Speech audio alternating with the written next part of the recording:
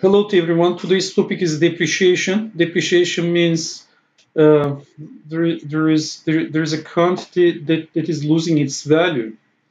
Um, so there are three types of depreciation: flat rate, reducing balance, and unit cost depreciation.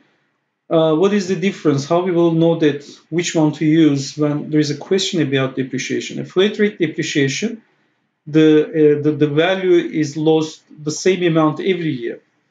So um, uh, the, the, the, value is decreased by the same amount every year, like simple interest. In simple interest, uh, the value of your money increased by the same amount every year. In flat rate depreciation, it is decreased by the same amount every year. Reducing balance depreciation, uh, the, your, the, the, the, value of whatever you have is losing money, uh, different amount uh, in every year. So um, unit cost depreciation, uh, an item loses value depending on the amount of use the item has had, like copier machine.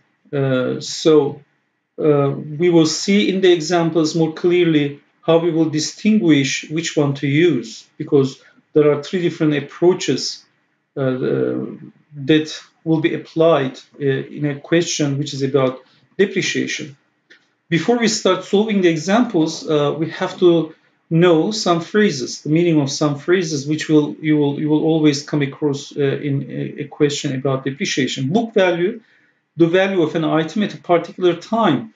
For example, uh, you have a car uh, which costs 10,000 kina.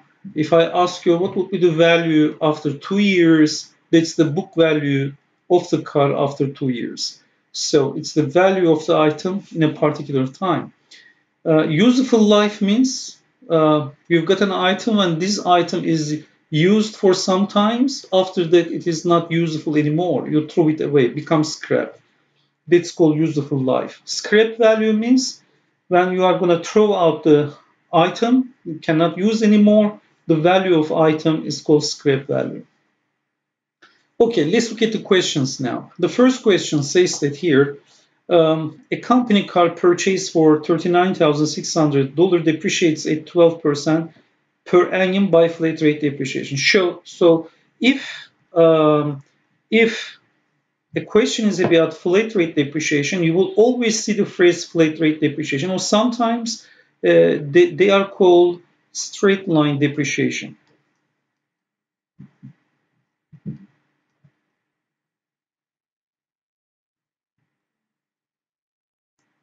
Sometimes it's called straight line depreciation. I'm going to touch that when we are done with the examples because we were talking about the um, talking about the um, the graph of the, the uh, these three types of depreciation. Calculate the book value of the car after three years. So uh, since uh, it's a flat rate depreciation, it will be decreased by the same amount every year. And what is the amount?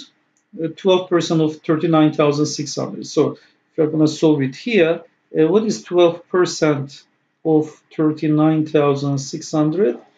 Let's calculate that.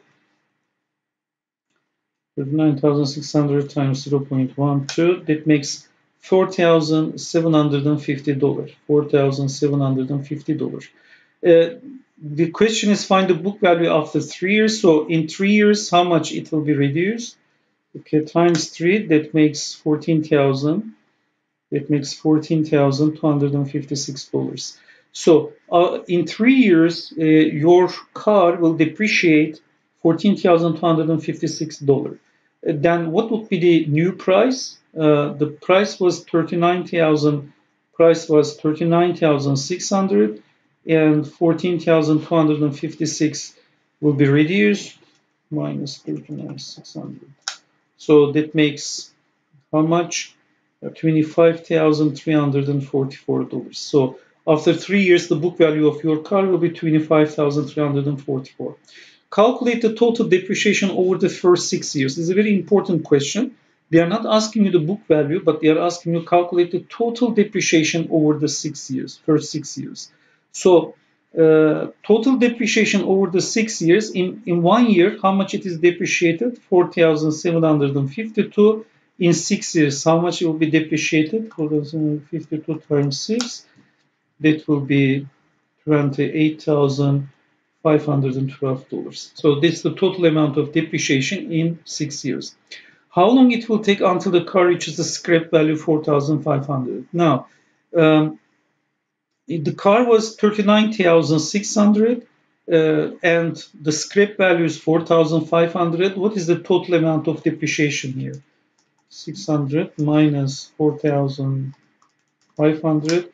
Total amount of depreciation is 35,000, 30, okay, 35,100. In one year, it depreciates $4,752. So divided by 4,752, it will give us the amount of years, 4,752. So that makes 7.39 years. 7.39 years. If you round this number, they're not asking us to round the number, so that's the answer. But if you round this number, remember it's going to be 8 years, not 7 years. Be careful. All right. But I'm not rounding it. They, they didn't ask me to round the number, so I'll just leave the answer as it is.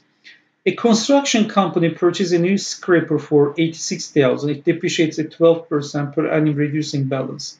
So what uh, what formula am I going to use here? Is it a flat rate depreciation question? Absolutely not. If it is flat rate, they will mention flat rate. If it is unit cost depreciation, you will know that, uh, like in the following question, uh, the, the item is losing value depending on the amount of it is used. So it has nothing to do with that. So the formula that we use here is equal to is equal to, it is opposite of depreciation, appreciation, sorry, P times 1 minus R over 100. Remember appreciation that was plus to the power of N. This is the formula we use for reducing balance depreciation. So in the question, they won't say reducing balance questions. Actually, whereas some questions they use, uh, they say they mention it reducing balance depreciation. But in this question, we easily understand that it is reducing balance depreciation because it has nothing to do with flat rate it has nothing to do with unit. It has to be this formula.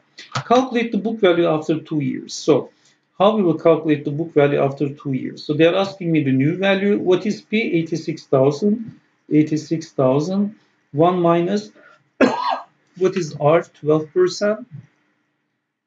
In how many years? In two years. So uh, the answer will be 86,000 times 0.88 to the power of 2. So the new price will be uh, 66,000, 66,598.40 dollars. That's the new price. Calculate the total depreciation over the first five years. So be careful, they're not asking me the book value, they are asking me total depreciation. So first I will find the book value after 5 years. 86,000 1 minus 12 over 100 to the power of 5.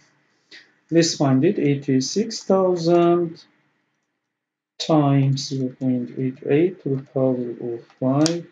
Okay, the new value will be after 5 years, the book value 45,000 $384.94. But they are not asking me the book value. They are asking total depreciation. So the, the value of the, um, uh, the scraper was 86,000 dropped down to 45,000 plus. So what is the total amount of depreciation? Then it's going to be 86,000 minus 45,384.94. So the result will be minus 86,000 the result will be 40,615.06 dollars.